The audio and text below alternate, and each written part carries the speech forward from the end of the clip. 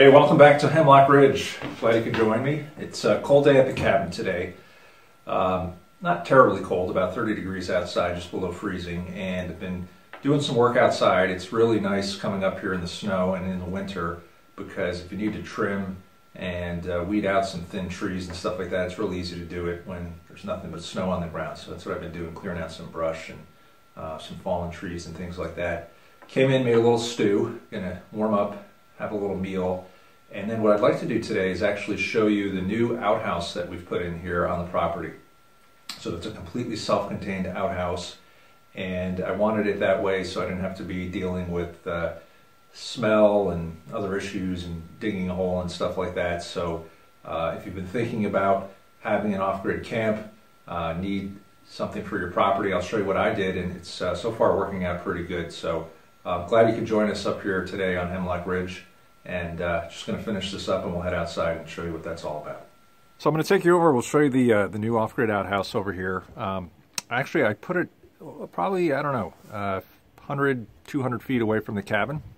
And uh, just wanted to put it in a central location. We sometimes camp out in a field over here, so this was uh, a little bit farther away. So uh, let's go take a look at it over here. So it's just down the path. Uh, nice little walk over here, not too far away.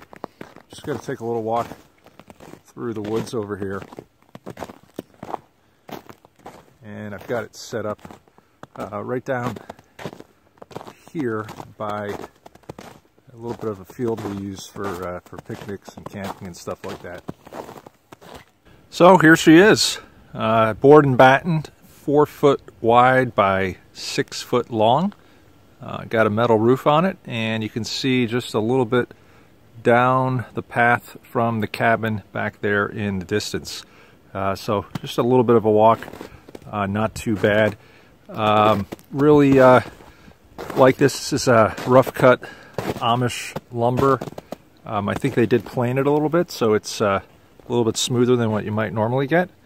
And uh, go ahead and show you what's inside here.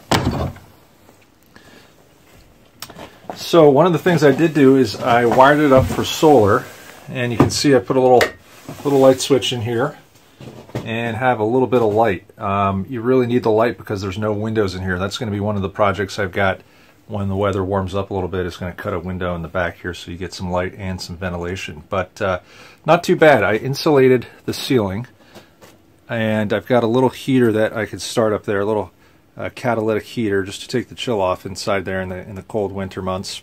Painted the floor. You can see you've got sink, you've got toilet, and uh, a few shelves and things like that. Now, um, I'll start out with the sink and show you what we got here. So uh, we are totally off grid here. So this sink is got a reservoir in the bottom. It holds about five gallons of water with a foot pump. And this is really nice because uh, you can fill that up. It lasts a really long time and then be able to wash your hands and uh, things of that nature. Um, moving along, I just built this mirror really cheaply. Just got a piece of mirror from the hobby store and uh, picked up some uh, yellow birch branches here, just kind of cut them into a frame, and we've got our mirror. Uh, for the light, I did something a little bit different. I actually found online an LED bulb uh, that is 12 volts. So it's actually a 12 volt system, so I didn't need an inverter. And that's nice because you don't have any of that uh, uh, loss when you get uh, converted from 12 volt to 120 volt. Um, and so I'm able to just run right off of solar and a battery and run a 12 volt LED on there. I'm just running a little motorcycle battery in here right now. I'll show you the solar setup in a second. Probably going to need to get something with more capacity, but um, this draws so little, and because it's the winter, I'm not really running the fan inside of the composting toilet. So the toilet, this is a Nature's Head composting toilet. And I wanted to go with this for ease of installation. Didn't want a big, uh, pit have to be dug and dealing with odors and all that kind of stuff. And so this is completely self-contained. Uh, this is a diverting toilet, which is how most of these composting toilets work. So what it does is it actually diverts number one from number two. So number one goes in the front, number two goes in the back. There's a trap door here if you're going to be doing that, which opens up down below. And uh, it works really, really well. So this is the number one bottle. Uh, and then uh, below, this kind of sits on a composting tank. And you can see right here, there is a spider handle. And you can move this to compost uh, or move the compost around in there inside of the chamber. So um, what it uses is sphagnum peat moss, and that's all it uses. You put that in there, and it's actually uh, good for, the manufacturer says 60 uses, so that's a lot. Um, I have not, we have not used it that much yet, candidly. We'll see how it does in the warmer weather. Right now, when it's this cold, there's no composting happening. It has to be about 55 degrees for the composting to happen and that's why you have this uh, vent fan here. So there's a very low voltage uh, fan that just keeps a little bit of negative pressure on this to make sure there's no odor, but also to keep air moving through here to help aid in the composting.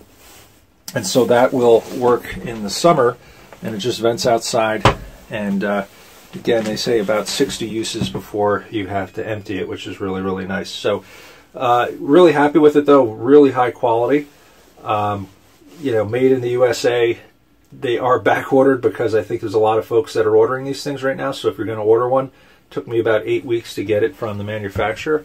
Uh, but you can see here, I've got my solar controller right here.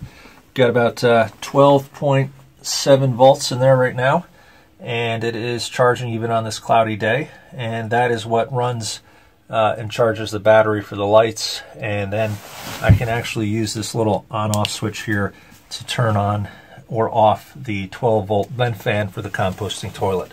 So uh, really works good. It's just simple and uh, works out really, really good. So we'll tell you how that works in the summer.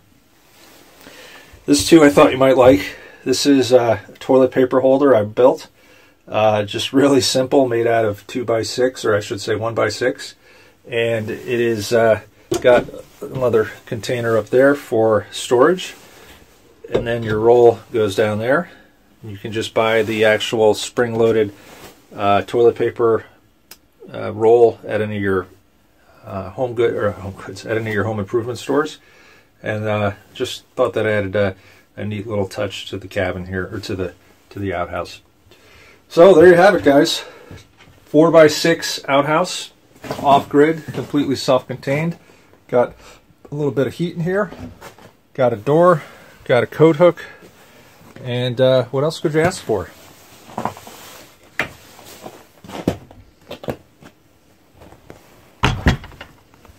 So here's the solar panel I'm using right now. Um, I got this thing off of the internet. I think it's direct from China.